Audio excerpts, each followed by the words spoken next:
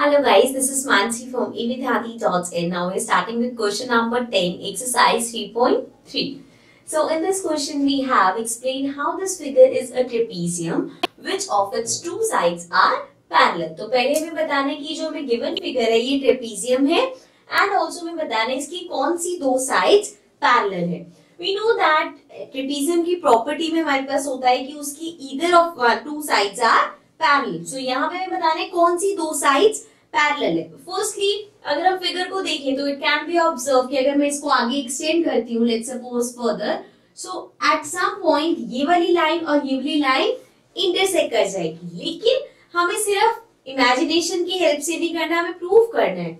सो so, जो parallel lines होती है उसके साथ अगर कोई लाइन क्रॉस करके करते जाती है so this is the transversal और एक लॉ होता है कि जो ट्रांसवर्सल की मेजर्स होते हैं if these are equals to 180 degree so means these two lines are parallel again अगर दो लाइंस है, उसको एक लाइन इंटरसेक्ट कर रही है और जिस जो लाइन इंटरसेक्ट कर रही है, उसके एंगल मेजर का सम 180 डिग्री है सो ये हम प्रूव कर सकते हैं कि ये दोनों लाइंस पैरेलल हैं.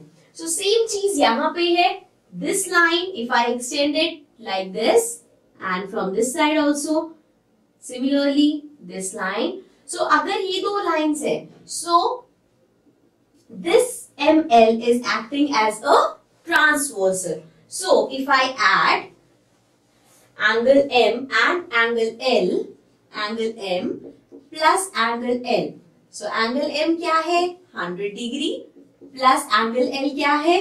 80 degree. So 100 plus 80 is 180 degree so we can see transverse transversal जो है, उसके मेजर का सम 180 डिग्री है। So we can write that N M is parallel to K L right so हमने बता दिया कि ये पैरेलल कैसे है। Also we know that in a trapezium two lines are parallel so this is a trapezium and also N M and K L are parallel okay?